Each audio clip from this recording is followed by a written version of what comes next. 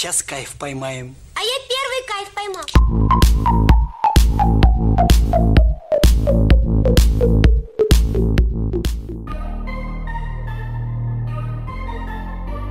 Hola de nuevo a todos, soy Canina Racing, bienvenidos a Todo Vapor. Entre que grabé la revisión del Godmod original y este vídeo habrán pasado seguramente unos cuantos días. Yo lo estoy grabando inmediatamente después de que terminé, de que he terminado de grabar la revisión del Overlord.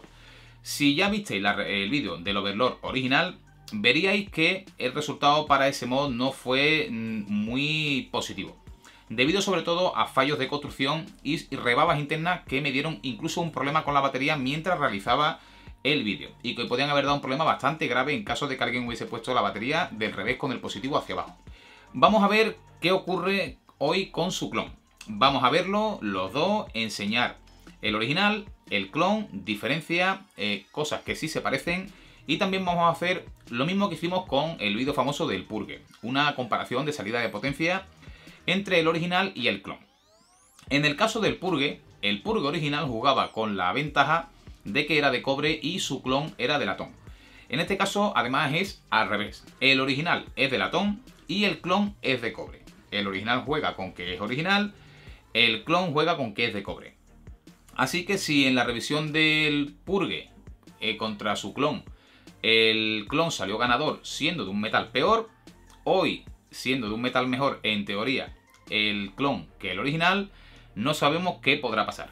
Así que vamos a empezar viendo diferencias, similitudes entre estos dos modos. Vamos a la mesa y empezamos con este vídeo. Bueno, pues vamos a pasar a ver las presentaciones en las que vienen el clon y el original. O el original y el... eh, a ver. El, el original y el clon. Este es el Overlord original que ya vimos en la revisión. Este es el Overlord clon. Así que a partir de ahora vamos a poner el clon en este lado de pantalla y aquí siempre el original. Porque, mm, como veréis, las similitudes comienzan por la caja, pero no quedan solo ahí. La caja es muy, muy parecida, varía un poquito el color. Aquí viene una pegatina, aquí viene el número de serie del original. Y vamos a pasar a ver el interior.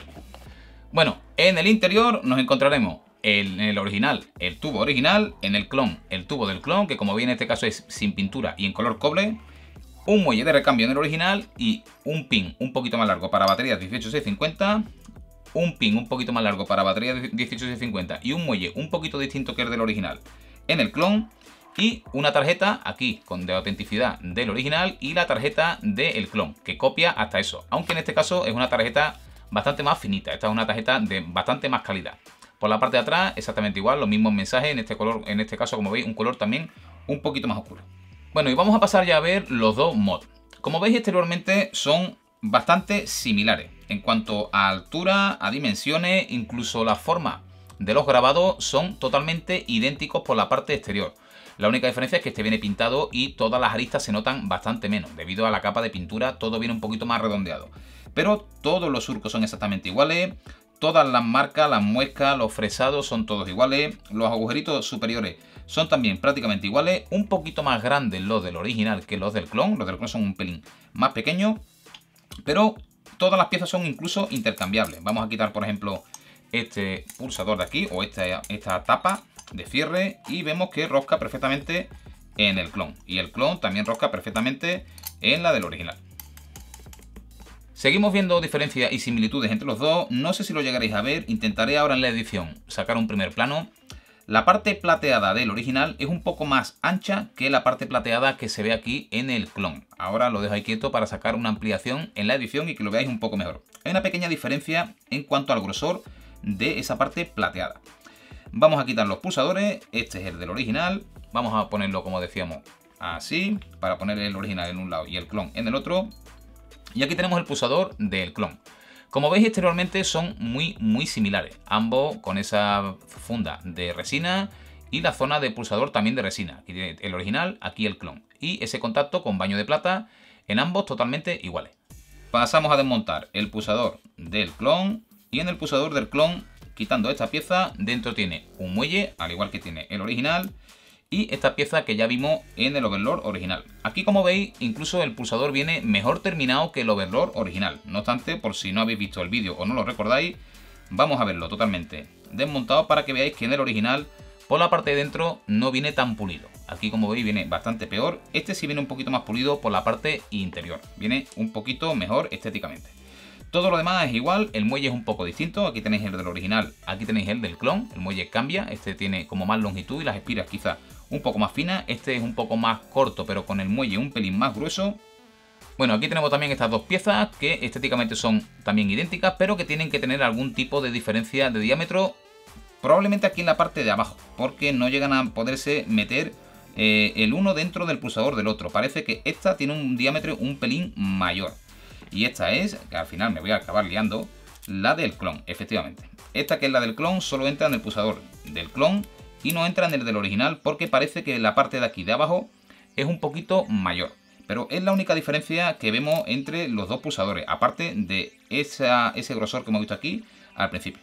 Bueno, y otras cosas que también vienen incluidas, que son el adaptador de batería. Este es el adaptador de batería 18650, que ya criticamos que venía muy mal terminado en el original. Era de un plástico de muy mala calidad y con muchas rebabas por todos lados de plástico. En este tenemos exactamente el mismo material y también la misma rebaba, pero en este es justificable porque se trata de un clon de escasa calidad y escaso precio.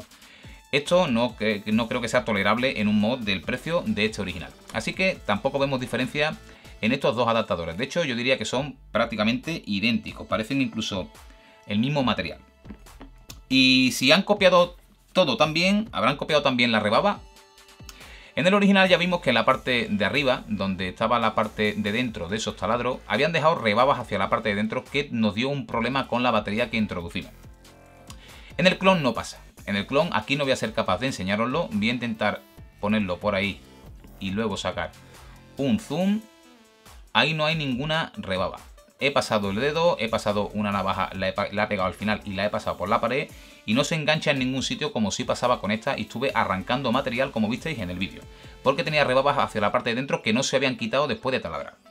Así que en este no existen las rebabas que había en el original. Y como veis, este se trata de cobre, imagino que será cobre de muy escasa calidad, y este latón. Así que vamos a pasar a lo que mm, nos queda por hacer en este vídeo, que es la prueba de salida de potencia. Diferencia de salida de potencia entre el clon y el original. Así que vamos con ello. Bueno, pues vamos a empezar. Hoy le vamos a dar la ventaja al original. Como se trata de uno que tiene peor material, vamos a darle la ventaja de ponerle la batería fresca en primer lugar. Vemos la salida de potencia que da y comparamos con el clon. La batería está prácticamente cargada, no sé exactamente el voltaje. Hoy como se trata de una prueba de comparación, lo que nos interesa es ver cuál de los dos da más salida de voltaje y no vemos hoy lo que es la caída de, voltaje de estos mods. Así que vamos a meter positivo hacia arriba, cogemos su pulsador, que ya me iba a equivocar, iba a coger el del clon, metemos aquí, cerramos y hacemos una pulsación con la resistencia que siempre utilizamos en el entorno de un ohmio y veremos aquí en pantalla qué valor saca.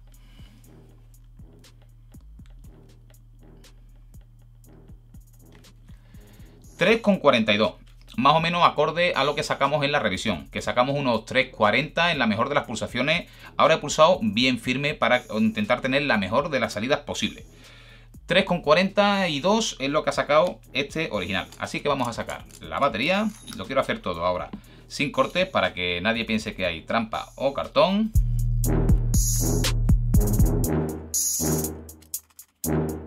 Bueno, y ya lo tengo todo preparado de nuevo para darle a este clon. Espero no llevarme el chasco que me llevé con el original. Yo realmente espero... Eh, perdón, hablo del purgue, con el purgue original. Eh, yo no, esto no lo he hecho antes, lo voy a hacer aquí con vosotros. Y el resultado que salga aquí mm, me voy a enterar a la misma vez que vosotros. Bueno, yo antes porque estoy grabando el vídeo, pero eh, entendedme. Si saca más de 2,42, perdón, 3,42, querrá decir que supera al original supera al original. O veremos si al menos lo iguala o es peor. Son los tres escenarios que eh, tenemos ante nosotros. Espero que no pase lo mismo que ya me pasó con el vídeo del purgue, porque yo no tengo el cuerpo para tantos chascos. ¿eh?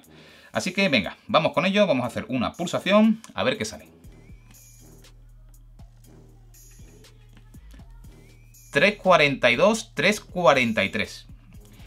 Vamos a repetirlo. 3.41 y pico, ahora la batería está un poquito más baja. Como hemos visto, con la batería un poquito más descargada que el original, ha igualado e incluso mejorado un poquito al original. Este clon ha mejorado en un poquito con la batería un poquito más descargada, ha sacado el mismo voltaje y una centésima más. Por lo tanto nos encontramos prácticamente en el mismo escenario de lo que pasó con el purgue original contra el clon. El clon, vamos a decir que iguala o incluso mejora por un pelín prácticamente, eh, que no se aprecia al original. Así que, nuevamente, otro chasco que se lleva aquí el amigo Canina y que a lo mejor se lleva alguno de vosotros. Así que vamos arriba, que otra vez otro vídeo que va a dar que hablar. Bueno, pues ya estamos de nuevo por aquí arriba, después de ver de cerca este vídeo comparativa entre el Overlord de Godmod original y su clon. Como habéis visto, ha ocurrido básicamente lo mismo que ocurrió en la revisión del Purge Slam Piece original contra su clon. En aquel vídeo el original contaba con la ventaja de ser de cobre y el clon con la desventaja de ser de latón. En este caso se han invertido los papeles, el original es de latón y el clon de cobre. Imaginamos, como siempre dijimos en aquel vídeo, esto será latón de calidad y esto cobre del malo. Se ha vuelto a repetir el mismo escenario. En, la revisión del Slam Piece contra su clon, el el clon igualó o incluso mejoró en un poquito al original. Y se ha vuelto a repetir lo mismo en esta ocasión. El clon mm, iguala o mejora por muy poquito al original. Pero, por supuesto, la diferencia de precio es abismal. Además, eh, en cuanto al funcionamiento eh, del original, ya os dije que yo notaba, y lo visteis en las mediciones que hicimos de, de salida de potencia, cierta inconsistencia en la salida de potencia debido a que no hace del todo buen, contacto la parte del pulsador. En el clon no me ocurre eso. En el clon puedo hacer una, pulsación suave y noto que la salida es igual de potente que se aprieta un poquito más. No noto esa inconsistencia y no tengo que andar buscando una pulsación sólida para ver eh, que da la salida de potencia total, que no se queda un poquito flojo. También hemos visto que en el original tenía un error muy muy grave que era lo de las rebabas internas. En el clon eso no ocurre. Mm, viene perfectamente terminado, al menos en esta unidad, por dentro. Y en el original eso fue la verdad que imperdonable con respecto a este fabricante.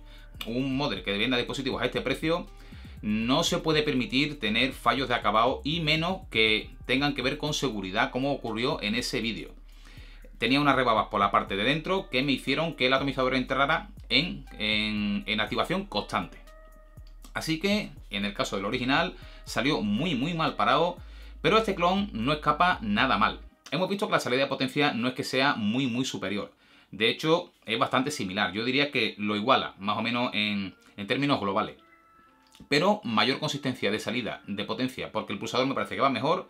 Y la diferencia de calidad y de fabricación y de ajuste que debería haber entre los dos, debería de hacer que el original diera un poquito más. Pero en este caso hemos visto que nuevamente se repite el escenario que ya vimos con aquel vídeo famoso del Slampis. El clon se puede decir que iguala al menos al original, pero por una fracción bastante pequeña de su precio. Siempre podemos tener la polémica de decir que, claro, esta gente son los que han hecho el diseño original, estos solo se limitan eh, a copiar. Y, y ya lo digo siempre, yo no soy nunca partidario de recomendar clones abiertamente, pero en casos concretos y particulares, aquí hemos visto un caso en el que el original va peor que el clon, que también me ocurrió con el Slam Piece. Por eso es por lo que a mí sí me gusta subir este tipo de vídeo, debido a que si os puedo recomendar un clon para quien no pueda permitirse un original que funcione bien y que sea fiable, que no tenga problemas de roscas, que no tenga problemas de rebaba, como sí ha tenido este original, y en este clon no lo tiene, y este tipo de cuestiones que funcione bien, pues sí, me gusta haceros un vídeo porque entiendo que no todo el mundo tiene el dinero suficiente para desembolsar por un mod mecánico que suelen costar un pico bastante mm, grande. Sobre todo si son de alta gama como este. Los hay más económicos, pero que aún así o bien no merecen mucho la pena, o más o menos tienen un precio intermedio. Al menos hay que gastarse 70, 80, 90 euros en un mod mecánico para que más o menos vaya bien y no todo el mundo dispone de ese dinero.